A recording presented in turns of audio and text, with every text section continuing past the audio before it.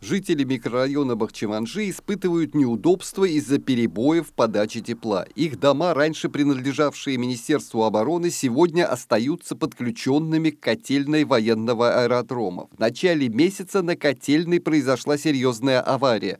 Последствия – прорывы на разных участках изношенной теплотрассы устраняются. Администрация округа держит вопрос на контроле. Решение не за горами. Год назад в микрорайоне началось строительство новой муниципальной котельной. Ее запуск запланирован на 23 год, а сейчас комиссия, созданная администрацией округа, проводит мониторинг температурного режима в домах, чтобы она соответствовала нормам. В ходе выездов специалисты проверяют температурный режим в подвалах, подъездах и, конечно, жилых помещениях. Они отмечают, что основным показателем теплоснабжения в жилом фонде является не уровень нагрева батарей, а температура в помещении.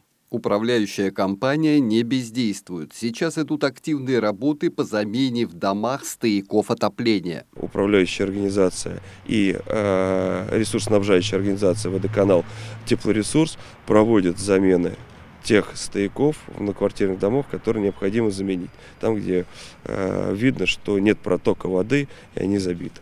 Как бы объем работ большой, э, они ежедневно этим занимаются, не останавливаются.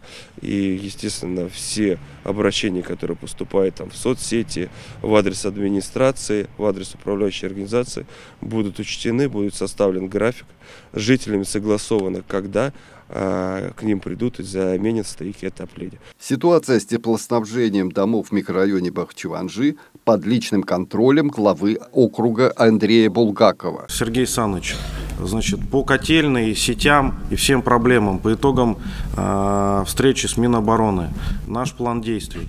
Андрей Алексеевич, в соответствии с вашим поручением, вчера была проведена инвентаризация инженерных сетей на аэродроме Чкаловский. Все проверено, сделан акт, в соответствии с которым необходимо было спланировать работу. Сегодня было проведено совещание с руководством Министерства обороны, определили направление и достижение целей, выделено Министерством обороны 60 миллионов рублей на ликвидацию аварийных ситуаций. С завтрашнего дня фирма приступает к работам на данном аэродроме.